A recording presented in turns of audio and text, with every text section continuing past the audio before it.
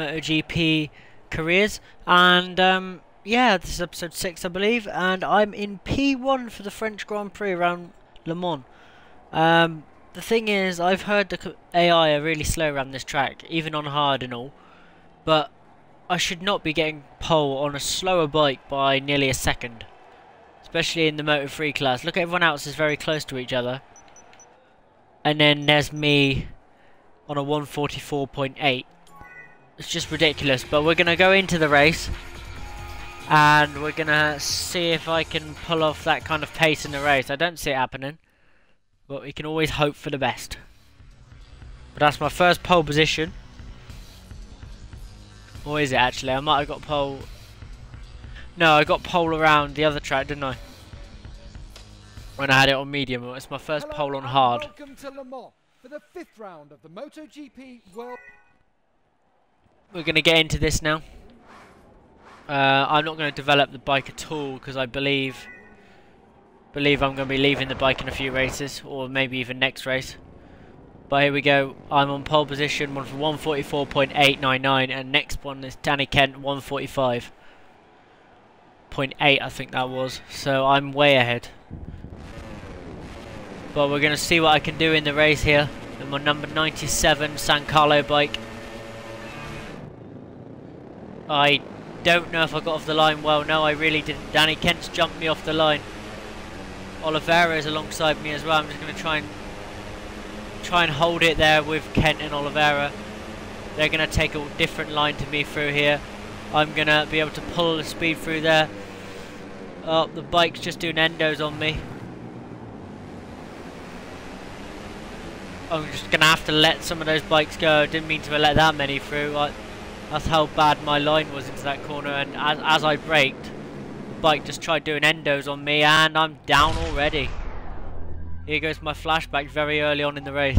It's not a good start to the race for me. So the pace that I had in qualifying, I've, I'm going to have to really show that kind of pace now to catch up. I don't know why into the first, into the second corner, my bike decided to um, endo a few times, even though I was holding back to lean back whilst braking.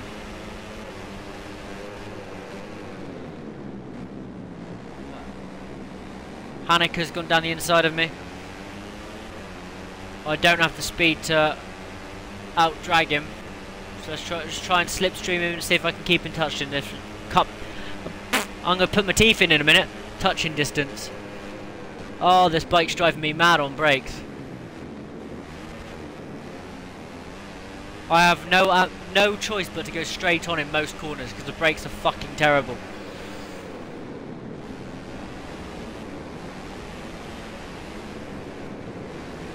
I'm dropping back. I started on pole by quite a margin and now I'm back to P7. On the first lap of the race, which is not good, that line I took through there was a bit cheeky, but I'm not going to get penalised for it, so why not? But that's a horrible first lap. Three seconds behind the leader already. When I clearly was the fastest guy in qualifying, so that's very, very annoying. Oh my god, and there's nothing I can do about that incident. Got too much curb. The game's put me much further up the uh, grid than where I was there. Caught way too much curb through that part of the, the track. And it was a big incident. In real life, that probably put me out of the race. Well, not probably, that would put me out of the race. But this bike is so horrendous, there's nothing I can do here. Every time I touch the brakes, it does that, even if you lean back. This bike is freaking terrible. I need a better bike. I'm not going to be able to win races on this bike. Bit of the doctor's dangle going on there.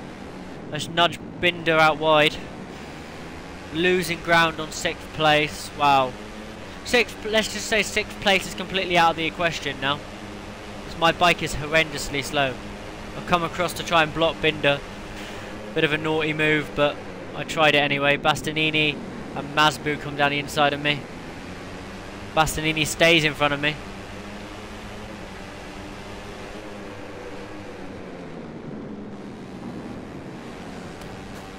I tried to go down the inside of Bastianini and um, Binder, and I ended up taking them both out because my move was a bit aggressive.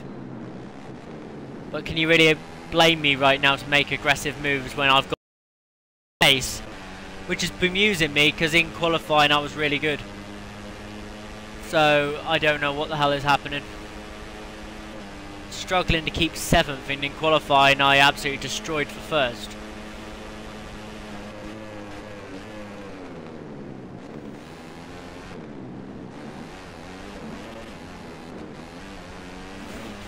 Freaking bike is terrible!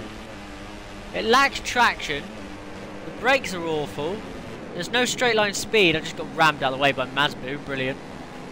And there's just nothing I can do, I'm just falling back into the grid.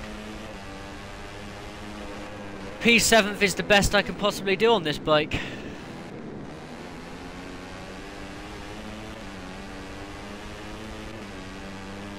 Ah, it's so frustrating. I know I can win the race if I had a quicker bike.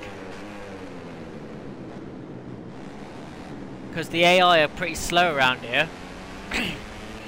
but they're making it up on the straights and this brake, every time I touch the brake, in, the brake into the braking zone, I'm endoing or freaking wheeling. It's really getting on my nerves. Look, look, I'm off again. Another little endo. There's no need for it. I don't know why my bike does it every time I touch the brakes. Not once, it's every time I touch the brakes. There we go again. A little bit of an ender into that corner. I managed to fight it. And there's another. It's really pissing me off. McPhee come around the outside of me. And I knocked him off. Not like I've got much control of what's happening here. My bike's got a mind of its fucking own. Really pissing me off. 4.4 seconds behind Hanika, and there's no way I'm catching him. Let's just settle for settle for seventh now, I think. Turned a little bit too early through there. Endo in again. So the only way I'm going to make that corner is by go straight there. And I didn't accelerate across the corner, so it's not like I gained that much of an advantage. I had to gravel trap, gravel track, sorry, and um, yeah, I don't really have much option right now but to go straight because the brakes don't work. The brakes are awful. I really need a better bike, and hopefully then the endo issue will end this is starting to really get on my nerves. Through here, accelerate off the corner, don't really have much straight line speed, let's have a little look behind. There is a bike there in 8th that's staying close to me. P7th looks like the best I'm going to be able to possibly do here. Get it right through here. Actually get it right through here for a change. I am 2.7 seconds behind Hanika, so I have caught him a little bit. Not enough to trouble him, I don't think. Two laps left when we cross the line in a minute. I'm getting close to Hanika.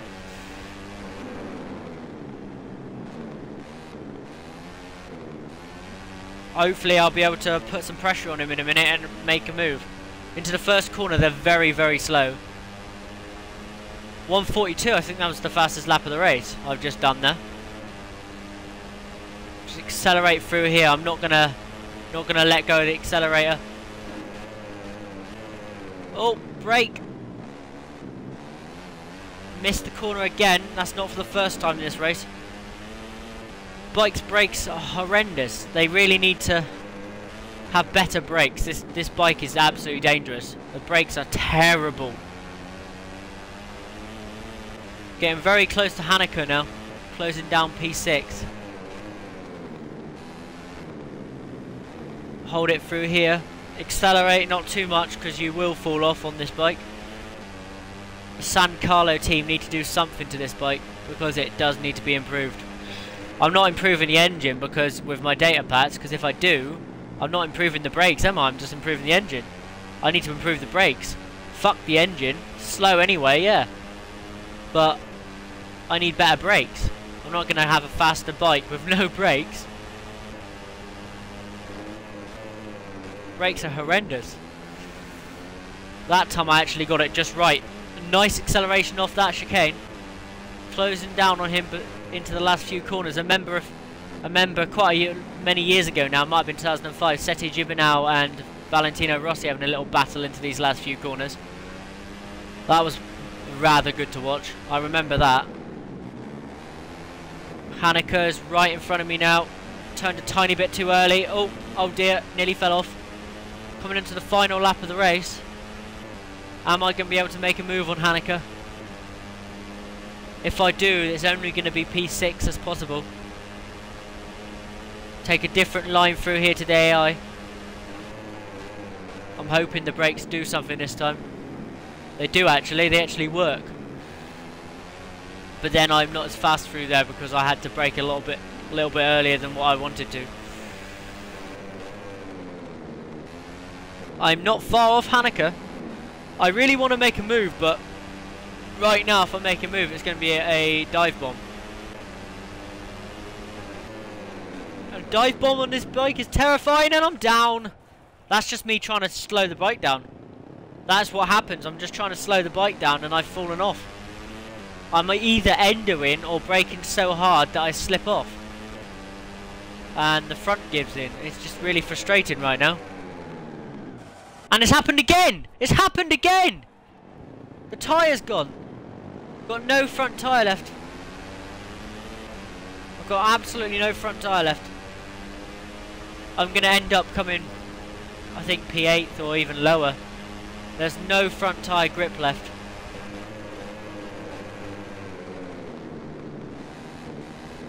That's all I can do for here is tiptoe at the moment. I've got no grip left in the front tyre at all.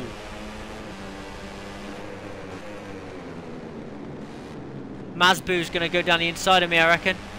Masbou has made a move. I'm just going to do a little bit of a uh, shoulder overtake there, a bit of a forceful block pass. Tiny bit early there on the turning. Come off the corner, and unfortunately it's going to be P7.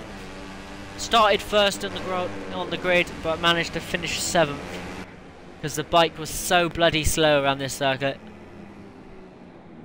I did the fastest lap of the race, but I lost tyre grip towards the end there and not a lot I could have done. But 7th is going to be the result here. Um, it's, it's pretty annoying. Let's just look at it that way. It's pretty annoying. I'm 6th in the championship. Probably going to come no lower than 6th, I'm hoping, because I seem to finish 5th, 6th or 7th most races. Look at the bike into that first corner. You see it endoing. I couldn't control that bike at all into that corner. It's just... I don't know what to do to fix that. There's got to be something I can do. Really bloody annoying. But hopefully I'll be able to get onto the onto the Leopard bike very soon. I've declared interest in wanting to go to that bike, so I hope I hope it's going to be a possibility because this bike is bloody horrendous. I'm not even going to watch that. But uh, let's just load up the menu and um, see if Leopard want me as a rider yet. Because I told them they're my favourite team. I've showed definitely interest in there. Apparently my guys had a meeting with them over a dinner. So they said just before that race. So I'm hoping the possibility of that Leopard bike's going to be happening right now. It's going to be a lot better than what I'm currently bloody riding. And maybe I'll be able to go for race wins without horrendous issues like that race. Let's have a look.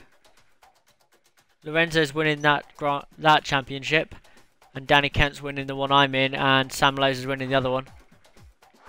What's this? Baton continues, blah blah blah. I think a bit of an internet team, right? That's cool. Um, as you know, I'm always looking out for the best contract. Well, give me a bloody contract. I would like a contract. I'm so sick of this stupid bike. So sick of this bike now. But that's going to be the end of this uh, episode. I will be recording another one immediately afterwards. And it will be the Italian Grand Prix. Uh, if, if you enjoyed it, leave a like, and if you're new around here, subscribe. It's going to go on my YouTube channel, Christian Batten, or the Chucky101 on the URL. I hope you enjoyed it, and I've been Kris12LFC, and I will see you later.